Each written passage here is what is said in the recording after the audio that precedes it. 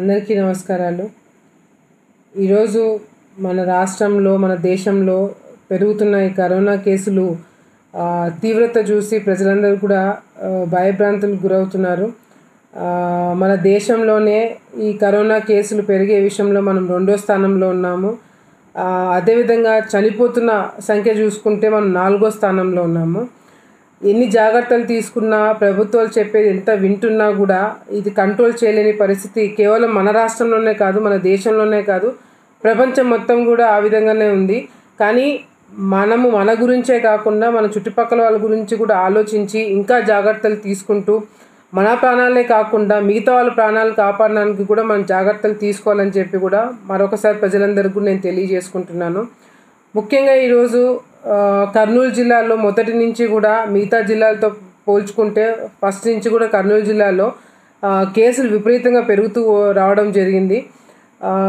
అదేవిధంగా ఇప్పుడు ప్రస్తుతానికి మనము కరోనా కేసులు పాజిటివ్ కేసులు కానీ డెత్ రేట్ చూసుకుంటే కర్నూలులో కూడా ఎక్కువ పెరుగుతున్నాయి కాబట్టి కర్నూలు జిల్లాలో ఉన్న ప్రజలకి అదేవిధంగా ముఖ్యంగా రాష్ట్రంలో ఉన్న ప్రజలందరూ కూడా ఒకటే తెలియజేసుకుంటున్నాను. మనము ప్రభుత్వం చెప్పే జాగ్రత్తలన్నీ కూడా బాగా పాటించాల్సిన అవసరం ఎంతైనా ఉంది. ఎందుకంటే మనం మాస్కులు పెట్టుకున్నా లేకపోతే చేతులు గ్లౌజ్ వేసుకున్నా అనవసరంగా మనం బయటికి రావడం వల్ల కూడా చాలామంది ఇబ్బందులు పడుతున్నారు. దయచేసి ప్రభుత్వం చెప్పే జాగ్రత్తలన్నీ కూడా మరీ మరీ మీరు తీసుకోవాల్సిన అవసరం ఎంతైనా ఉందని చెప్పి కూడా ప్రజలందరికీ కూడా తెలియజేసుకుంటున్నాను మొన్న రెండు రోజుల క్రితం నిన్న మొన్న కూడా మనం చూడడం జరిగింది.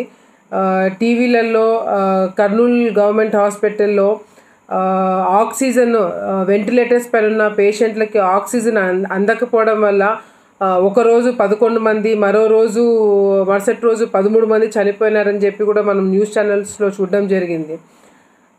దానికి సంబంధించి కర్నూలు కర్నూల్ హాస్పిటల్లో ఉన్న సిబ్బందులు బయటికి వచ్చి ఆక్సిజన్ సిలిండర్ పక్కన నిల్చొని సిలిండర్లో ఆక్సిజన్ ఉంది ట్యాంక్లో ఆక్సిజన్ ఉంది రెండు రోజులు పనికి వస్తుంది అని చెప్ప చెప్పడం జరిగింది. ఎటువంటి ఇబ్బంది లేదు. మీడియాలో వచ్చే అవన్నీ కూడా నమ్మకండి. ఇది అవాస్తవం అని చెప్పి కూడా హాస్పిటల్ సిబ్బంది చెప్పడం జరిగింది.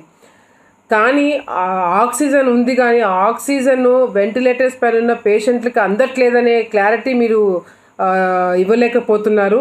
అదేవిధంగా బయోమెడికల్ ఇంజనీర్ ఎవరైతే ఉన్నారో ఆయన నిన్న ఒక రిపోర్ట్ ఒక ఎంక్వైరీ చేసి ఒక రిపోర్ట్ సూపరింటెండెంట్కి ఇవ్వడం జరిగింది.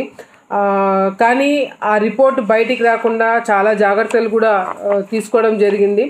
కానీ ఈ రిపోర్ట్ బయటికి మా మా దృష్టికి రావడం జరిగింది. ఈ రిపోర్ట్ కూడా నేను మీడియాకి ఇవ్వడం జరుగుతుంది. దాంట్లో బయోమెట్రిక్ ఇంజనీర్ దగ్గర నుంచి మెడికల్ సూపరింటెండెంట్ గవర్నమెంట్ హాస్పిటల్ కర్నూలుకి వాళ్ళు ఒక లెటర్ రాయడం జరిగింది. అది కూడా ఇప్పుడు నేను చదివి వినిపించడం జరుగుతుంది. రెస్పెక్టెడ్ సార్ సబ్జెక్ట్ వచ్చేసి ventilator showing oxygen and air low pressure error this is to bring to your kind notice that we have inspected ventilators in ICUs and wards they are showing oxygen and air low pressure errors since four days due to which patient is unable to get required pressure levels Hence, medical staff are complaining that ventilators are not working. So please kindly arrange to rectify the problem as soon as possible. అంటే biomedical engineer superintendent గారికి letter రాసి నాలుగు రోజుల నుంచి ventilators పని చేయట్లేదు మీరు వెంటనే యాక్షన్ తీసుకోండి అని చెప్పి కూడా లెటర్ ఇవ్వడం జరిగింది ఈ లెటరు వాస్తవమా కాదా మీ లెటర్ వాస్తవం అయితే మీరు ఎందుకు వెంట ఆక్సిజన్ ఉంది ఎటువంటి ఇబ్బంది లేదు ఆ పేషెంట్లు కానీ ఎందుకు బయటికి వచ్చి చెప్పడం జరిగింది? దీనికి ఎవరు సమాధానం చెప్తారు? ఇది కరెక్టా కాదా అని బయటికి వచ్చి మీరు మాట్లాడాల్సిన అవసరం ఉంది. ఎందుకంటే నిజంగంటే ఈ వెంటిలేటర్స్ పైన ఉన్న పేషెంట్లకు ఆక్సిజన్ అందక చనిపోయినారని నిజంగంటే అది వాస్తవం అయితే ఎవరు దీనికి బాధ్యత తీసుకుంటారని చెప్పేది కూడా ఎవరొకరు బయటకు వచ్చి మీరు మాట్లాడాల్సిన అవసరం ఎంతైనా ఉంది. ప్రభుత్వం ద దయచేసి దీన్ని చాలా చిన్న విషయంగా తీసి పాడేకండి నిజంగా అట్లా చూసుకుంటే ఇరవై ఐదు మంది దీనివల్ల చనిపోయినారంటే ఎంత పెద్ద ఇష్యూని మీరు కప్పిపెడుతున్నారు అనేది కూడా ఒకసారి మీరు ఆలోచించాలని చెప్పి కూడా ఈ సందర్భంగా నేను తెలియజేసుకుంటున్నాను. అసలు చనిపోయిన వ్యక్తి కుటుంబ సభ్యులకి ఎందుకు చనిపోతున్నారు? ఆక్సిజన్ అందక చనిపోతున్నారా? లేకపోతే రీజన్ కూడా తెలియని పరిస్థితి కనిపిస్తుందంటే ఇది మంచి పద్ధతి కాదు. దయచేసి మేము మేము డిమాండ్ చేస్తున్నాము.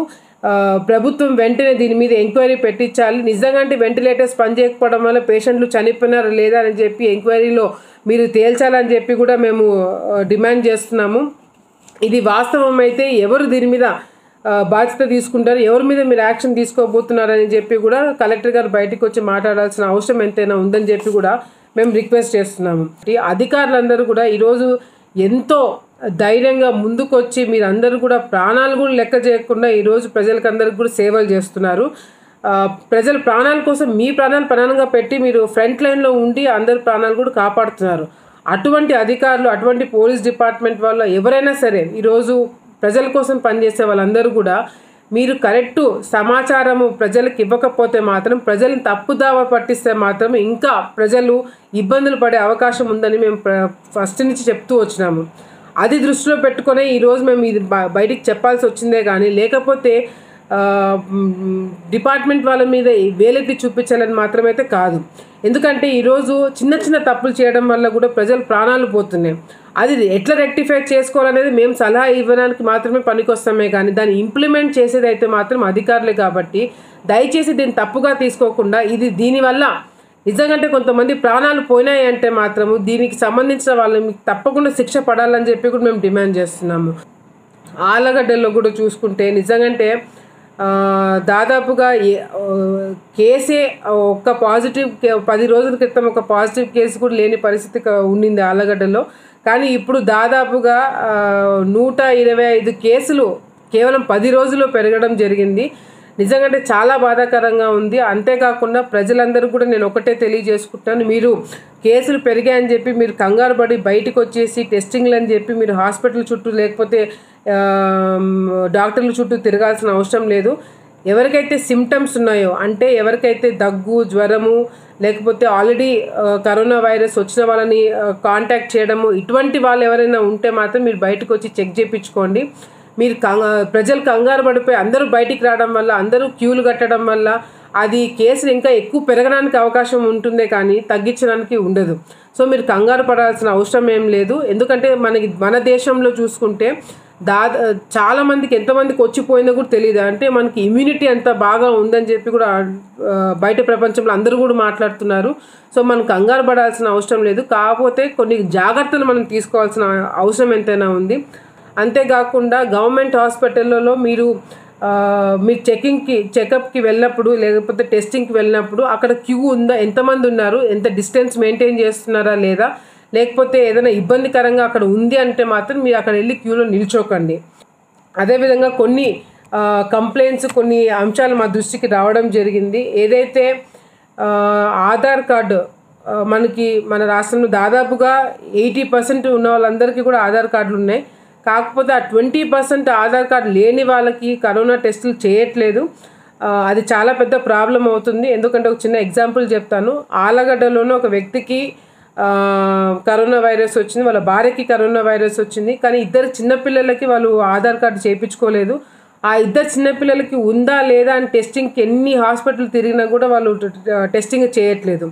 వెంటనే నేను ఆర్డీఓ గారితో మాట్లాడి ఈ విధంగా పరిస్థితి ఉందని చెప్పిన వెంటనే ఆయన కూడా స్పందించి ఒక లెటర్ ఇచ్చి వెంటనే వాళ్ళకి టెస్టింగ్ కూడా చేయించడం జ- జరిగింది. సో ఆ- విధంగా ఒక క్లారిటీ అనేది ప్రభుత్వం తరపు నుంచి మాకు వస్తే ఎవరైనా ఇట్లా ఆధార్ కార్డు లేని వాళ్ళకి ఈ విధంగా ఉంటుంది ప్రొసీజర్ అని చెప్పి కూడా ఆర్డీఓ లెవెల్లో కానీ కమిషనర్ కానీ ఎవరైనా బయటికి వచ్చి ప్రజలకి ఇన్ఫర్మేషన్ ఇవ్వాలని చెప్పి కూడా మేము రిక్వెస్ట్ చేస్తున్నాము. అంతేకాకుండా ఈరోజు కరోనా పేషెంట్లు అడ్మిట్ అయ్యి చనిపోయిన వాళ్ళు వాళ్ళ ఫ్యామిలీ మెంబర్స్కి టెస్టింగ్ చేయట్లేదు. ఉదాహరణకి ఆలగడ్డలో భద్రుడు అని చెప్పి ఒక ట్రాన్స్పోర్ట్ కంపెనీ నడిపే అతను అతను కరోనా వైరస్ వచ్చి చనిపోయినాడు. ఆయన భార్య మూడు నాలుగు రోజుల నుంచి నాకు టెస్టింగ్ చేయండి అని చెప్పి కూడా గవర్నమెంట్ హాస్పిటల్ చుట్టూ తిరుగుతుంది. మూడు నాలుగు గంటలు వెయిట్ చేస్తున్నా కూడా ఆమెకి టెస్టింగ్లు చేయట్లేదు. చనిపోయిన వ్యక్తి భార్యకి మీరు టెస్టింగ్ చేయకపోతే అది ఇంకా చుట్టుపక్కల వాళ్ళకు కూడా వచ్చే అవకాశం ఉంటుంది. ఆక్సిజన్ అందక అంబులెన్స్కి ఫోన్ చే పొద్దున ఎప్పుడో ఫోన్ చేస్తే సాయంత్రం వస్తుందని చెప్పి కూడా కంప్లైంట్లు వస్తున్నాయి. సో ఈ చిన్న చిన్నవన్నీ కూడా దీనివల్ల ప్రజలు ప్రాణాలు పోతున్నాయంటే కూడా అధికారులు దీని మీద దృష్టి పెట్టాల్సిన అవసరం ఎంతైనా ఉంది. కలెక్టర్ దగ్గర నుంచి కానీ జేసీ దగ్గర నుంచి కానీ ఆర్డీఓ కమిషనర్ నోడల్ ఆఫీసర్ ఇన్ఛార్జీలు ప్రతి ఒక్కరు కూడా కూర్చొని ప్రజలకి అవగాహన కలిగించేలాగా ఫస్ట్ మీరు ఒక ప్రెస్ మీట్ పెట్టండి. రోజు ఒక ప్రెస్ మీట్ పెట్టి వాళ్ళ డౌట్స్ ఏదైనా ఉంటే క్లియర్ చేసేయండి. ఎందుకంటే ఆ క్లారిటీ అవగాహన లేకపోవడం వల్ల ప్రజలు ఇంకా ఇబ్బందులు పడే అవకాశం ఉంటుంది కాబట్టి మీరు ఫస్ట్ బయటకు వచ్చి ఒక క్లారిటీ ప్రజలకి ఇవ్వాలని చెప్పి కూడా నేను అధికారులకు అందరికీ కూడా రిక్వెస్ట్ చేస్తున్నాను.